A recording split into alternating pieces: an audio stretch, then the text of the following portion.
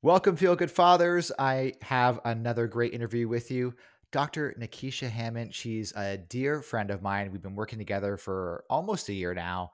Um, I'm continually amazed at the people that I have the privilege of working for and with, and they always have something really interesting to add. And so, uh, Doc, why don't you give us a brief rundown of sort of your experience and like uh, where you're well known, and then we'll get into the interview. For sure. And thanks for having me. I'm super excited to be here. As you know, um, I'm Dr. Nekeshia Hammond. I am a psychologist, executive coach, speaker, and author. I have been in private practice now for about 15 years. Feels like just yesterday. Uh, but I, I, specialize in ADHD, and over the last couple years, have been starting to specialize in burnout prevention for different communities and different groups. Um, so it's been an incredible ride and experience in the mental health field, and I'm super excited to be here. Awesome. That's so what what was the beginning of sort of um, the ADHD world? And really, I'm trying to think about it from the perspective of feel good fathers. And some of us are going to have kids, uh, kids that have ADHD. Some of us are going to have kids that have a lot of energy. And so I think from two perspectives, I would love to understand sort of like your historical reason for doing that. And then the second thing is like what to look out for um, as a feel good father. Yeah, sure. That's a great question.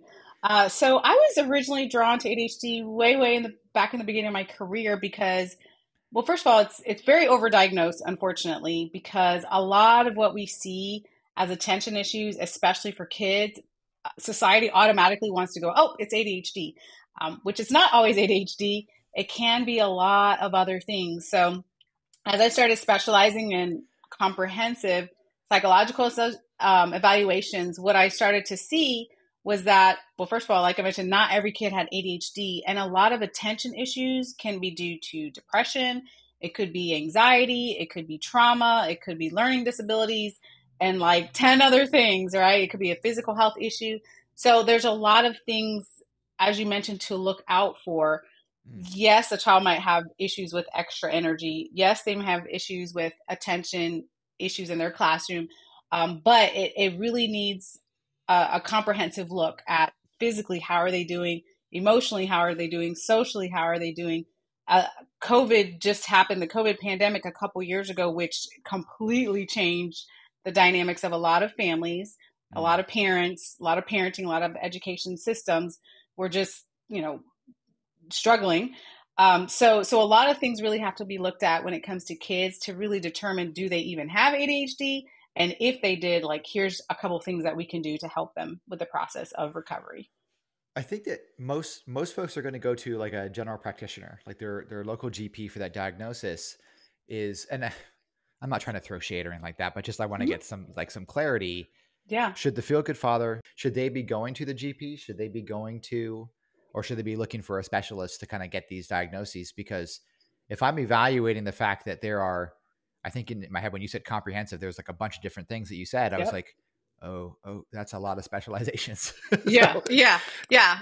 And you know, so I I am a fan of starting with a pediatrician. I actually uh, wrote that in my last book for ADHD. Start with a pediatrician because there's also physical health things. It could be low blood sugar. It could be uh, I mean, it could be diabetes, it could be low iron. Like there's a ton of different things that could look like ADHD. So I am a fan of starting with the pediatrician, but generally, depending on the physician's office, which I don't fully agree with, generally there's two forms. There's a form for the parent and there's a form for the teacher that says, does this child have ADHD or not? So the forms are filled out, and then a pediatrician might say, yep, you have it, or no, you don't. Or, yep, you have it, and here's some medication and hope for the best. Here is the problem with this. Sorry, I'm, un, yeah. I'm unclear. Yeah. What what forms? What do you, I don't understand. Yeah, there's there's forms to fill out. So there'll be forms to assess for ADHD where the parent will fill out this long form asking about different behaviors, how are they doing at home, and then the teacher will fill out a similar set of well teacher teacher version of the form where they'll you know it's a, it's like a checklist basically of how is this child doing with their behaviors, which is important it is important to look at those things. But the problem is, even if a child does have ADHD, the CDC shows that like almost two thirds of kids with ADHD have something else going on too. So we've I mean, as a society, we've completely neglected that. So you start to treat ADHD and you're like, why is my child still misbehaving? Why are they still not doing well in school? Why are they still getting into trouble? Well, it's because they have something else going on too. So what didn't get addressed is maybe their learning disability, or maybe they're depressed, or they're traumatized, or they're anxious, they have social anxiety, fill in the blank. Like there's something else going on. So that's the problem with only going to a pediatrician. It's it's it's like testing for one thing, but you needed mm. to have the full evaluation to see like here's 12 things that could be going on. Let's look at everything to really tease out how do we best help this child. So that's the the pros and cons. Love it. I, I think that's really good getting more more insight. Yeah. How how common like I'm I'm, to think of like in percentages. Yeah. I, would love to just discuss this myth. How common is ADHD? in general in the population? In the general population, so it, affects millions and millions of kids each year. So, but there's also about last I checked, maybe around 74 million kids, right, in the U.S. So, I mean, you're talking about depending on who's doing the data, it could be six, eight percent. Some people say five percent, somewhere around there. So, I mean, in the larger scheme, it's a smaller percentage, but it's still millions and millions of kids. So sure. it, but yeah, even, it really even, affects. Even like yeah six to eight percent, right? Like I'm I'm trying to think of if we have an overdiagnosis pro, pro, uh, problem, right? Mm-hmm. And and it's not to me, it's never the ADHD like getting a diagnosis that's that's an issue. It's more like yeah. the knock on effect of that. So that's sort of the opening of the floodgate, which leads into other different things. And yep. I, I remember from a conversation with Dr. Jenny Prohaska where we were talking about what's trauma, what's drama mm-hmm, right there's mm-hmm, and she mm-hmm. works with first responders so she works with yeah. people that are regularly in the you know in touch with death are regularly regularly jumping into dangerous situations. So uh and it's always difficult to talk about this without getting canceled so please forgive me internet. Um you know like legitimate ptsd legitimate trauma versus you're not you don't have self-regulating behaviors. You don't have a way to manage your life. You you're just you know and that and it can lead to it right? Like drama can lead to trauma if you if you're not able to do self-care which is part of your specialty and and the reason why i wanted to get that number because you were saying like six to eight percent or something like that six to eight right? It's like all right so that gives me a statistical odds. That's like all right so odds are one in 10 my kid might have adhd mm-hmm. right? And so um, what about um, so what would we do with that? So we've got we, we go through you know we we speak to a pediatrician make sure it's not something else. Um, we we go to a specialist maybe for uh, uh, mm-hmm. a review some research uh, uh something like that mm-hmm. what, what's next so after that so after let's say this child got a comprehensive psychological evaluation, then you know first what's going on with them, and then you put things in place. But the most important thing to think about is a team model, meaning it's not just things you're doing at home as a parent, but hmm. also it's things that the schools can do. So let's say a child did have ADHD.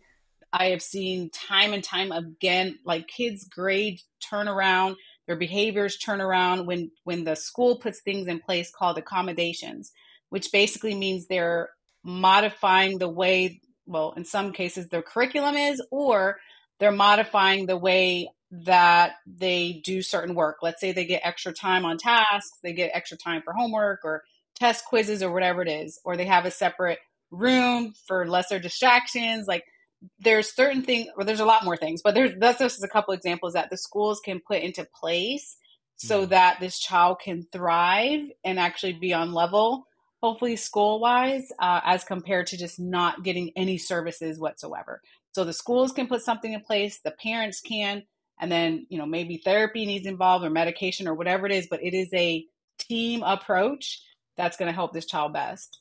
What does that conversation look like from the Feel Good Father perspective to advocate for their kid in a school system? Yeah, great, great question. So, so essentially, once you know this parent has a report then you take it to the school and you say hey you know i need to set up a meeting obviously with the teacher as a start it, it depends on the contact person depending on the school but you can start with a teacher and sit down with them and say hey we just got this comprehensive psychological evaluation here are the results what is my next steps? Like what do i need to do to put the appropriate uh, modifications or accommodations in place so that I can help my child. And usually what happens after that is there's a meeting with the academic team and you and you you discuss like you say at home here's what i'm seeing. Like they're struggling with their homework. They're taking two hours for something that could take 20 minutes right? It's it's so hard. You know whatever is the case at home you you bring that conversation to the school and then the school says hey at school we notice they're taking longer than usual to get their tests done or they're rushing through their tests because they're anxious or whatever it is is the case like you have that conversation to say here's what i'm seeing at home here's what i'm seeing at school they put together a plan and hopefully start to implement that in the school so you can see better results. Love it. So um, that's great. So it sounds like a, a collaboration, which is really yes. good. Yeah. And who, I, I, mean, if there's a POC, is it the teacher? And by POC, I mean point of contact. Is that the teacher? Would it be the principal? Do we go superintendent? Like what level yeah, of would, school? I, w- I would start with the, the teacher because depending on the school, there's there, there there's actually different levels of contact, but I would I would definitely start with the teacher because they'll say like you know hey I'm doing this right at this particular sure. school, or it might be the guidance counselor. Usually there's some type of academic team which is made up of a couple of people, but definitely start with the teacher. Got it. Got it. Okay, great. So now we're we're in this world, and I'd love mm-hmm. to to we're in the world. We understand how to deal with it um, from a school perspective. Yeah. So what about age groups? Like, what are there any specific behavioral things that we should look out for for different ages? Uh, you know, the feel good fatherhood, they, they might be listening to, you know, they might have a one year old, they might have a 15 year old, diagnosed, not diagnosed, all this kind of jazz. Um, what, mm. what are, are there different behaviors at different ages of our children? Yeah, usually for the younger crowd, so the let's say elementary, well, preschool and elementary schoolers, you there's different types of ADHD, but for the type of ADHD where you would see hyperactivity, you might see more acting out, you might see more getting out of their seat in the classroom or at home. They they're having a really difficult time sitting still and doing homework or some type of activities, or they're jumping to different activities. Those are some things to look out for. But again, it doesn't always mean it's ADHD, but there is an attention issue um, which could be caused by different things. When when it's in the older crowd, or I say the older crowd, but my high schoolers, right? When they're at the high school level, there still can be some more of the impulsivity type of behavior, which looks different because then you're talking about kids driving and making different types of decisions where they're thinking without acting. Um, but also, as far as um, school, there might be more overwhelm with the amount of work because, of course, there's more work with high school. So there's definitely different things to be put into place, which is why I'm a huge advocate of starting early with this process. But the good news is, let's say you started in fourth grade for this child, you can uh, do like a reevaluation with the school so that they can change their needs. Because if they're in fourth grade versus seventh versus 10th, it's going to be very different things that they need. So you have another discussion like, okay, now they're older. Let's change it up. What do they need? And the same thing at home right? You change up what you're what you're doing at home. Got it. Okay. So we got the children's side. Yeah. What are common what are common sort of results or consequences for the father, for mom in this world? I, like we're kind of leaning now into the self-care. Yeah. You know, like what what do you see typically? Yeah, typically so I've seen man, it's been 15 years. So I've seen really a range of reactions from parents who have children with ADHD or another mental health condition. Um, for some parents, honestly, it, and understandably, it's overwhelming. Like it is just like I don't know what to do with this child or children, and it's overwhelming and it's stressful. So I always encourage parents to make yourself your number one priority. I know that it sounds selfish but the best thing you can do is to put some type of self-care plan into place to take care of yourself especially when you're juggling like 50 million things it feels like sometimes so putting the self-care into place even if it's only like 60 seconds a day every single thing counts right so putting that into place though is going to be really really important because again there's i've seen people who are angry about the diagnosis i've seen people who were relieved and happy. They're like, finally, I know what's going on. I've seen people anxious, overwhelmed. Like there's just a large amount of emotions, understandably. This is your child. um, and it can change the dynamics of a family um, to learn about different mental health conditions and things that you need to do to advocate for this child, which is why it's really important to make sure the self care is in place. Let's talk through some um, some examples of activities that they could do. Um, you know, we're we're not about preaching the idyllic, right? Like most of us have just a yeah. handful of minutes here and there. I, I know for me, it's like we have this really great couch downstairs, like, and and by downstairs, it's like our main space faces east and so I see the sunrise every morning. Like that's that. A, a huge part of my routine I is I that. I get in touch with the awe. I get in touch with the beauty of the sunrise. Yeah. Even on even on overcast days, it's still quite beautiful watching the gray, brown, and blacks. Mm-hmm. Not brown, the gray, whites, and blacks from yeah. the clouds like come in on an overcast day and seeing, you know, seeing how the sun is or how the light is interacting with the sky yeah. Um, it just it's really fun for me to marvel in that and be, you know, happy for God and creation, all that, all that, all the stuff. Yeah, that's incredible. I love it. and I do that every morning without fail, and that's just yeah. that's like you know, and that can be anywhere from 15 to 45. It just you know on the weekends it's longer, on the weekdays it's good. It's been sun kissed. The sky has been sun kissed. Now I got to go have a shower, right? Yeah, so, yeah. And I do that with my coffee, so that's kind of like part of my routine. And I yeah. and I you know, it's it's like the paying myself first. But let's, you know, but my life is very different, right? I've constructed that specifically. What are, mm-hmm. what are some examples for, of different parents and and I fully acknowledge that the majority of folks, right, are you know they're in what I call a W two, right? They're working for somebody else, or they're yep. probably getting up at six, getting out the door at six thirty, mm-hmm. driving. Mm-hmm. I think the average commute is like forty five minutes right? Driving 45 minutes to get into work for, I think that math puts them in at 745, right? For an eight to five day. Yeah. So, um, you know, what do you, what, what should, what should our, our, our parents, our feel good parents, what should they do?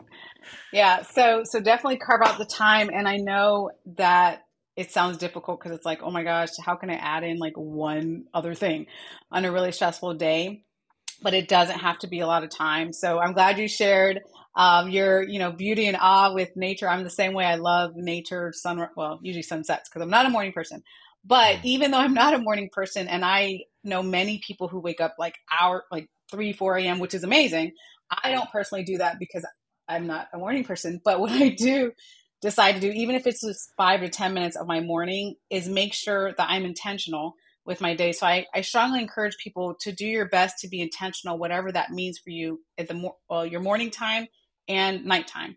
So in the morning, for example, for me personally, I have a devotional that I do, I have gratitude practice, all of this before I get to my cell phone because I used right. to wake up in the morning and the first thing I did was grab my cell phone and check email and check social media and all these things. And I stopped that a couple years ago because that's just not how I wanted to start my day. So I mm-hmm. encourage people one to be intentional, uh, two, to know that it doesn't have to be hours and hours of self care for it to matter to your brain. You start to train your brain with starting small. That's why I always advocate for like 60 seconds. You can time yourself.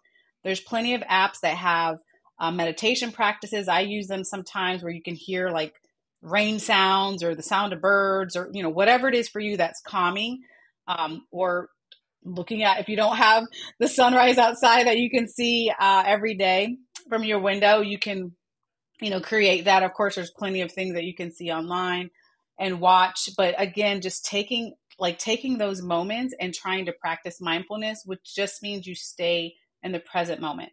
So I'm a tea drinker. That's my that's my thing. It takes me obviously a couple minutes to just make a cup of tea, but that like calming activity is something that can reset and recharge.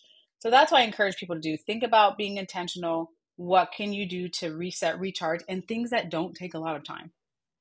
That's I found to start. I found I, I, love that. So I found that in in my research on sort of mindfulness practices. Yeah. Because uh, I I I kind of weave in and out of meditation, you know, mm-hmm. direct meditation. Yeah. But I found that one of the core things for mindfulness is being fully present on whatever the activity is. Yep. So if if you wake up in the morning and the first thing you do is brush your teeth, Exactly.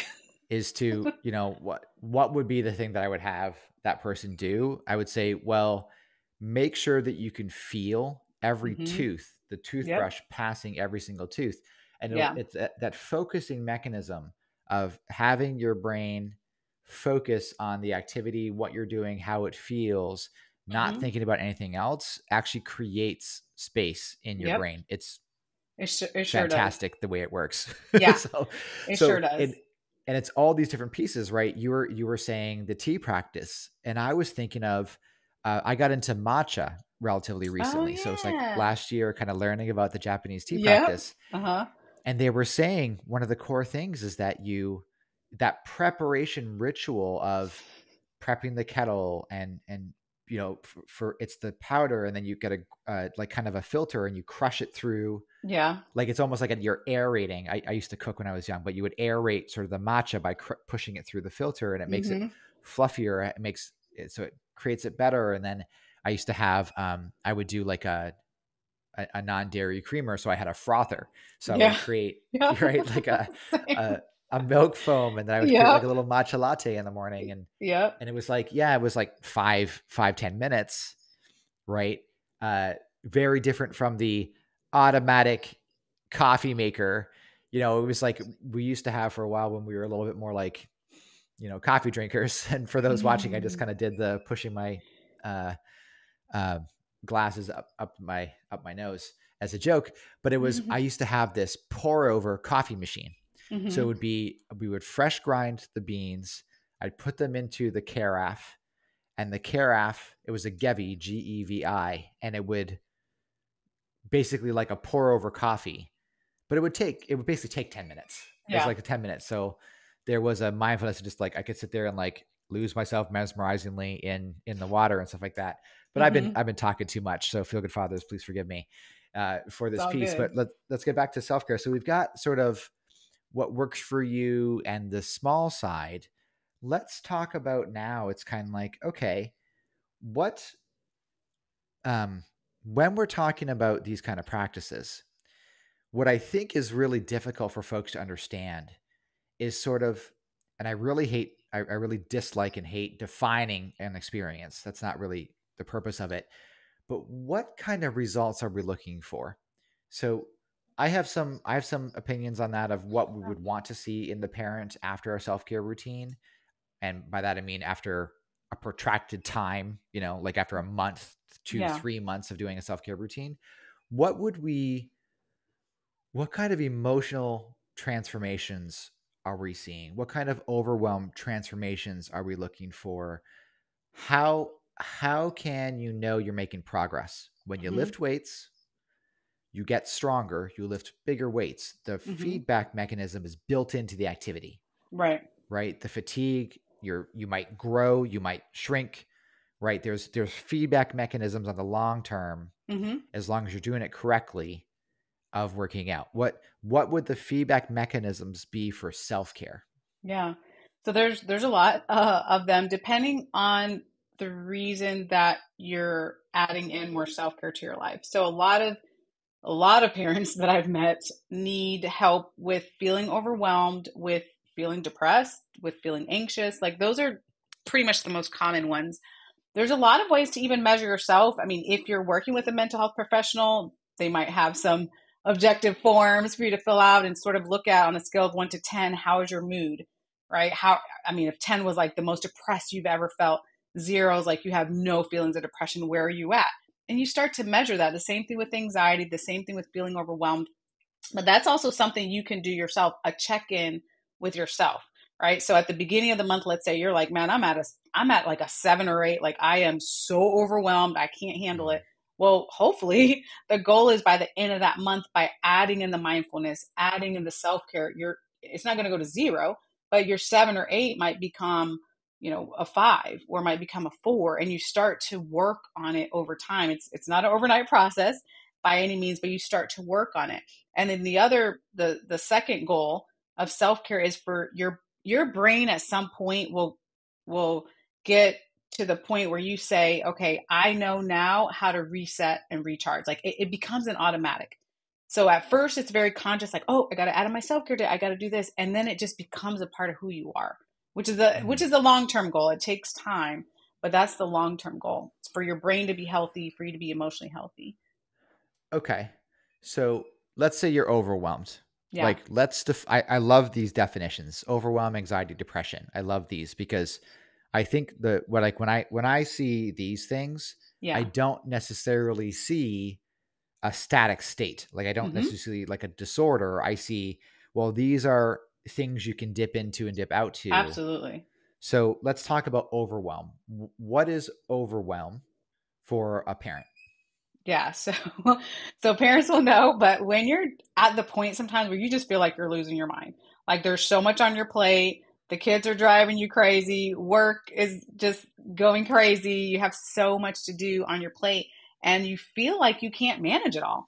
Like which is a really common feeling, like feeling mm. so overwhelmed, you're like I don't know if I can get everything done. So this is a overwhelm is a tasking. There's a lot of individual tasks. Yep. And then a lot of and and I think the other thing was the competition for your attention. Oh, for sure. So, you know, when you when you're coming home, especially with young kids, right? This is the Oh yeah. bless all of us for young kids. yeah. Right? They they're they require they have zero independence and Correct. they're a ball of positive energy, love and attention. Mm-hmm. Um, plus everything else. Correct. right. Correct. so so okay, so the overall parent they have challenges with all the different tasks. Their their brain is probably thinking about all the different things that they got to do. So yeah. they can't regulate. So so really, to me, when you're saying overwhelm, I'm saying what's the in world version of that is that they're not able to focus on what's happening. Correct. They're at home. They should be in their safe space. They should be able to focus on their kids. They're probably thinking about work. Mm-hmm. They're probably maybe another manifestation is that they're at work. They should be thinking about doing the work task, but they're thinking about being at home. Yep. So true. So common. Okay. so we've got the overwhelm. What would be one or two things? And let's, you know, like let's do like maybe a self-care exercise and then, you know, like I, don't know, what what else would you would you suggest or what else would you talk about with regards to all right, you're overwhelmed, do this, do these things. Yeah. So so it's it's training your brain to get back to a calming state, which is really important. If you it's it's really hard to do but it can come with time. When you work on getting into the present moment, there literally is no stress when you're in the present moment. Mm. But most of us are spending our times focused on the future, very anxious on the future, or depressed about the past. That's usually mm. where our minds are at, which is why it's important to have some type of practice to get yourself into the uh, to the present moment, which is what you mentioned before, which is a great example too. Even if it's brushing your teeth, for me, sometimes it's with washing dishes. Like we don't we're we're so we're always thinking about something else. Like you said, you're at work thinking about the kids, you're with the kids thinking about work. But when you work on just having those moments to be present to what you are doing, something that you enjoy, something that brings you joy, your brain starts to learn like it's okay for me to calm down. You don't have to always be overwhelmed and anxious and depressed. Like you don't have you don't have to live in that state necessarily when we start to train our brains to get into a calmer state. I think about when I think about this discussion, this particular part with overwhelm and your brain state and being present, I think a lot about spacing out. Yeah. And I think about, you know, when I was a kid, yeah, I'd, you know, farting around on the playground at recess or whatever. And then I'd, you know, go off in, in my head and do my own thing for two or three minutes, like completely yeah. empty, looking at the sky or looking at the trees or whatever. And then, you know, but I, what I think about as an adult is like how rarely if ever I space yeah, out. Right. You know, there's always something going on. We need more playtime. there's I, actually adult playgrounds around, believe it or not. We we, really? we need more playtime. Oh yeah. they exist. That's interesting. That's yeah. interesting. Yeah. yeah. I think of yeah, I think of um I, I do think about getting back to um it's been a I I've recently moved and so I've lost my martial arts studio and I that to me was a it was a that was a very calming self-care yeah. thing. Yeah. Um uh yeah, which is distinct. Uh, it's very distinct. Martial arts is very distinct from simply working out and lifting weights. Mm-hmm. So they're distinct exercises. Um, okay, so that's overwhelm. I, you know, I think if I was if I was going to give an example, it would be if you're overwhelmed by tasking with what you're doing. I would absolutely suggest that you just start writing things down that you need to do. Yeah. So that way, it's like that way it's out of your head because you know, I the way I look at it is that like it's my brain dis- dissecting everything that's happened today and saying like, oh, here's all the things you got to do. Yeah, like, I do that constantly. Brain dumps. I call it brain yeah. dumps. Yeah. Awesome. Okay. Yeah. Okay. So we've got taken taking uh, you know a little. So part of the overwhelm thing is just as you develop the skill of mm-hmm. creating space for yourself and maybe staying present in the moment and maybe writing things down. What will happen is in those moments of overwhelm, it'll be a tool on the tool belt that you can call upon. Absolutely. Okay. Perfect. So let's talk about anxiety. And so anxiety is something, you know, I actually have a handful of friends and I don't understand it. So I have had, uh, I have a, a, really good friend. Uh, she's very dear and she has, she has crippling anxiety and I just don't understand it. And I, and I think there's some things that we talk about and, and I try and I have to manage for me. So I would love like, what is anxiety? We're, we're talking about, you know, anxiety. What is it? Yeah.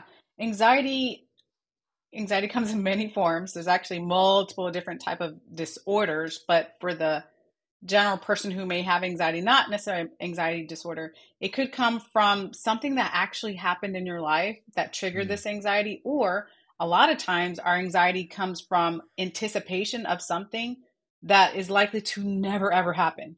Like mm. there, there's most things that people are worrying about in the research, they show most things that people are worrying about there's like a 99% chance that it's not going to happen. but our minds will tell us things that are not true. And then sadly, we start to believe our thoughts because we're thinking them, right? But it doesn't make it true. Just because you think something does not make it true. So this is like the, you know, I I'm, I'm a big fan of Will Smith and one of his quotes during COVID, which I loved because uh, he showed up in my feed, was there's a very real difference between fear and danger. Correct. Correct. You know, and so and so this to me is like when you're saying anticipation and likely negative anticipation because oh, I'm sure, sure, excitement, like yeah. anticipation. You know, I'm I'm curious. It was like anxiety, like I'm anxious to versus I am excited to. They yeah. have the same energy signature. Mm-hmm. Um, and I, I learned that when I was when I played sports as a kid. You know, they were like, I, I, I was you know it was corrected, but I it was really it was really good. It was like I'd be like, oh, I'm anxious to get on the ice because mm-hmm. I played mm-hmm. hockey yeah. And they were like, no, you're, well, are you anxious or are you actually excited? Mm-hmm. And I was like, oh, cool. And so that, that kind of gets back to naming the emotion, right? It's, yeah, we're, we're talking about having that inventory of what's happening for us and what we're feeling. And everything's a signal based on something. Um, but I love this. So it's like fear versus danger, yep. anxiety versus excitement. Um, okay, so when we're we're in the state we're we have a brain. The brain's doing its thing. It's mm-hmm. running wild right? Because we're in an anxious state. Um i'm sure that if if i was in an anxious state and somebody came to me and said hey there's a 99% chance that that's not happening i would very likely flick off that person. And be like i'd be like thank you person. Like go away. Yeah yeah yeah so what do we do? Because uh, I, I think that the I think what we're driving to for the for our feel good listener mm-hmm. is that we have ultimate control. Yeah. You have ultimate control over what happens in your brain and your emotion. Mm-hmm. Uh, and this, the, for me, this comes from the Stoic pra- practice is that you get that response, right? Viktor Frankl, freedom is in the is in the time and the space yeah. between stimulus and response. Mm-hmm.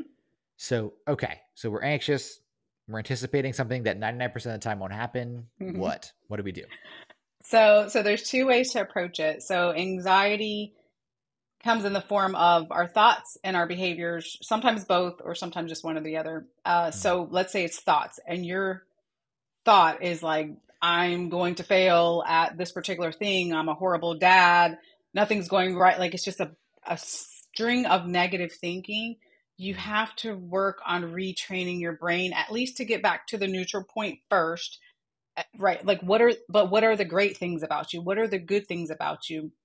Besides the fact that these all these things are going wrong but what is going right right? Like we have to retrain our brain on the thoughts especially the things that we're telling ourselves which is a process. I promise none of this is overnight but when it comes to self-love and self-confidence and self-esteem it is a retraining your brain on the thoughts which are the things that are affecting anxiety. The other piece of it is the behavior side. uh, which are things you are doing. So even your physical body, when you're re- really anxious, sometimes your heart rate is going up, you're sweating, you're freaking out. I know some people have vomited because they're so anxious. Like all these things physically are happening in your body. So you have to do certain behaviors to try to physically calm your body down, which is it could be meditation, it could be deep breathing, it could be there's certain mental practices that you can do to calm like get your body into a calmer state. I've worked with a ton of people that also have panic attacks and they have learned over time they learn over time like how to calm down their body so the re- anxiety can be reduced because otherwise anxiety can totally spiral out of control and people are literally in the hospital in the ER for panic attacks not heart attacks they feel like they're having a heart attack but it's because of anxiety because anxiety got so high that it physically affected their body in that way so it's we don't we don't want it to get to that point obviously so it's learning the ways to calm your body down and your mind down when it comes to anxiety I'm going to imagine that all that you know for anxiety for for each of these that they're releasing a fair bit of cortisol oh yeah your system. Oh yeah, for okay. sure. So can you tell us just a, a, super quick before we get to depression, a yeah. super quickly like what is cortisol? You know, like and I, like I'm thinking from the perspective of the long term negative impact of having a lot of cortisol in your system. Yeah. So so cortisol is just a stress hormone essentially. Um, we've heard about it all the time. It causes belly fat, all those things that we don't want, right? But but the good news is, and again, from a physiological standpoint, our body is releasing all sorts of chemicals all the time, and neurotransmitters are doing their thing. But when we work on not having that happen, so with this stress, high level of stress, high level of anxiety, depression, all those things, negative chemicals get released in our body. But the positive is when we do the things to get us into the relaxation states, states of happiness, states of good feelings, we can control those those chemicals in our body and they become positive things. So let's mm. say we're happy, we give someone a hug, we have endorphins, we have feel good emotions that come up, and our bodies also are releasing positive, healthy, right, chemicals into our bodies as well. So we actually can control that. And again, I'm telling you something really shortly that could be a three hour yeah. discussion, but we get to control that, which is exciting. Uh, but it, it really does take a mindset shift and taking some baby steps in order to make that start to happen.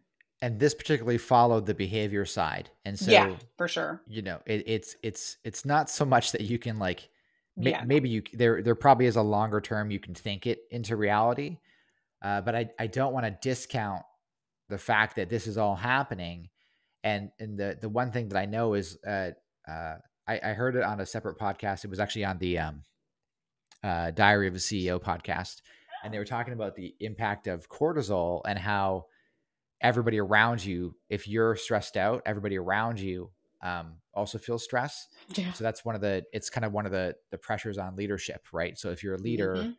your cortisol literally leaks out of your body and infects everybody. So if you're feel good father or the feel good mother, your cortisol will impact your spouse and will impact your kids, mm-hmm. and so they'll feel it.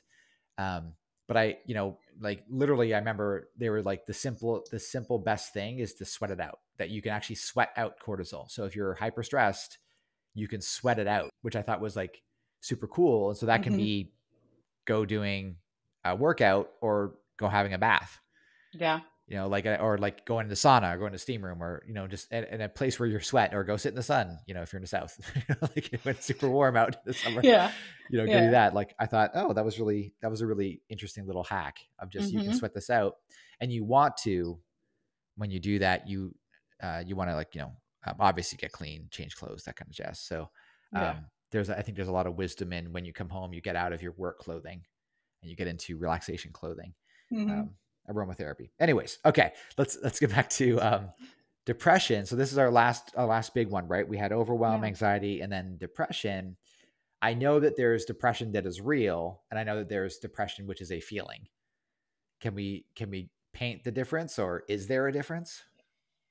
It's so depression is very it's it's tricky uh, because it is in the perspective of the person.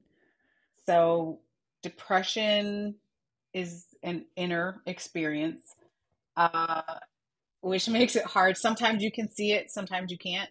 and it's the same thing with thoughts well there's different types of depression so for some people stereotypically we hear of depression like a person can't get out of bed and they're not doing anything. Maybe they're not going to work. They can't take care of their kids. But that's one form of depression. And then there's another form where people are up and they're functioning and they're going to work and taking care of their kids but inside they are struggling. Like they are really dealing with some negative dark thoughts. They're spiraling again mentally with the things that they're telling themselves constantly not even aware sometimes of all the negative type of thinking uh, which causes depression uh, maybe losing weight maybe having problems eating like there's there's a lot of things and unfortunately with our society we because of the stigma of mental health we don't always understand depression so we're like oh what do they have to be depressed about they're fine they have a good job, they have family, they're good. And it's like, no, this person is really struggling and feeling overwhelmed. On the outside, of course, social media shows, right? Like everything's fine, but they're they're struggling. Um, and they're having a hard time dealing with their emotions and the things that are coming up. I think it's really I, I love that because we're we're kind of talking about the stigma and I think uniquely for men, you know, and especially for feel good fathers, right? There's yeah um, you know, here's a little statistic that that people don't understand: one in five men suffer from postpartum depression. We never talk about it enough. And is like, so this is a this is a legit state. You know, we talk mm-hmm. a and we talk a little bit about moms. You know, there's a lot of pressure on moms, especially oh, for yeah. moms that have postpartum depression, um, to perform.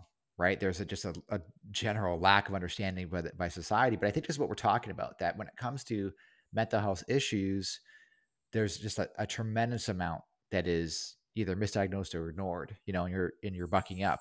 I was just watching um oh, I forget what it was called. Uh Mission to the Moon, I think it was an Apple. Okay. And I'm in the second season and the court the character Gordo is talking with Ed. Gordo had a mental break. You know, as a so I I have as well had a mental break. Um, he had a mental break when he was on the moon and it just his life just it, like it was in the 60 it was in the 70s it was right around oh. the first moon like the 60s and 70s so mental health was not what it was oh, yeah, and, no. and, yeah. and, part of what they're trying to do with the show is show historically yeah what what you know what things were like in that era mm-hmm. and there was definitely a buck up stiff upper lip kind of kind of element yeah and uh for that health and you know ed just lays into him and a little bit calls him out like a little bit calls him out of it. But it's it's really fun because it's not really until um, well, I haven't actually seen the culmination of the journey yet of, of what yeah. he's going through, but he he actually uh, shares his journey with his sons. He has two sons, mm-hmm. and they're very supportive. So there's there's some good health there. But um, even today, like when we take a look at stuff, there's a lot of I always think of the consequence. Right? Like if I'm just out there and I'm interacting with men and I see a mental health issue, Mm-hmm. I, I, you know, one of the statistics that I know, you know, it's like 4x suicide, right? The end, the end point for undiagnosed and mistreated and not solved depression in men is that they kill themselves, right? Mm-hmm. Their suicide is at the end. And so I'm always like trying to think of it from an empathy, compassionate side of if I see something, say something. You know, if I see a bomb, I'm going to go tell the airport security there's a bomb in the airport. If I see a dude that's got a bomb inside of him, I'm going to go, I'm going to try and reach out and just let him know that he's not alone, right? Yeah. Yeah. What, uh, from your perspective, what can we know about this stigma? Like, what can we know about um, how to help each other as brothers and sisters on yeah, this earth? You honestly, you you hit the nail on the head before because that's not talked about enough. I I of course i'm a strong advocate of mental health treatment the you know the therapy or medication or whatever that looks like very important but also what we do in community with others and the empathy and the compassion and the kindness like i can't even it's hard to express how powerful that is. Um, that does save lives. I've talked to numerous people like one-on-one just hearing different stories and people that men i would say that were at their darkest hour where they were literally about to take their life and what saved them was that someone reached out to them in that mm. like literally in that moment like it gives me chills every time i tell this but they they reached out like whatever a text a phone call or something just like hey man like i'm just checking in on you And in mm. that moment, their brain was like, oh, wait, someone cares about me. Like it literally saves lives. Like we don't talk about this enough, but it's so important. There's such a stigma. There's there's millions and millions of people that are never going to go to therapy anyhow because of the stigma, because of you know what all the, these different factors, the cost, what have you. So if we though as a community, like you said, can say, man, I see that you know you look stressed out or how can i help or just the little things that you can do it really goes a long way and here's the other thing i always want to to for people to remember is that sometimes you're just planting a seed. Like there are angry people out there. Don't get me wrong. Like you could reach out like hey i'm trying to help. They're like i don't need any help from you. You know what i mean? Or whatever like a negative response but just know that you're still planting a seed for them. Uh, mm-hmm. so you it it really just does matter when you're checking in and you're showing kindness and you're being compassionate to others. If if that person is open to receiving resources and you're like hey i know a good you know therapist or group or whatever it is they need and they're open to that then you share that. But not everybody's open which is okay but the kindness that you show them that is planting a seed for this person. And i promise you it is literally saving people's lives at this point. And i think that the the positive side right because we're going to think about like this outreach as intervention right? I think just on the positive side reaching out to building a community and in general just acting as a kind and compassionate person yeah. I i believe we talk about neurochemicals it releases serotonin yeah. in your it does. um, in your stream and serotonin itself is a huge it's a huge positive feeling yes. hormone and so it um right it it it it helps build more pathways in your brain. Mm-hmm. it helps you develop more compassion. I believe it leads to more calmness and leadership. The more serotonin you have in your system, the yeah. calmer you are.